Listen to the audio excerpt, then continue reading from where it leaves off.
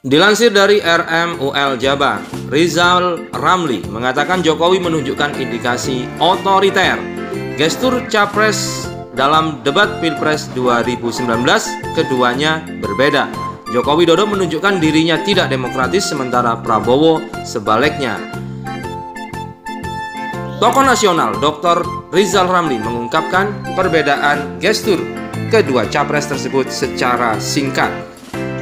Dalam debat sesi pertama, Jokowi kelihatan marah, emosional, gestur marah dan emosional. Jokowi itu justru menunjukkan indikasi tidak demokratis, cenderung otoriter. Kata pria yang pernah menjabat menteri di dua masa presiden itu, yaitu Gus Dur dan juga Jokowi. Gestur berbeda justru ditunjukkan oleh Prabowo Subianto. Menurut Rizal, Prabowo yang diperkirakan emosional dan marah justru menunjukkan sikap simpatik.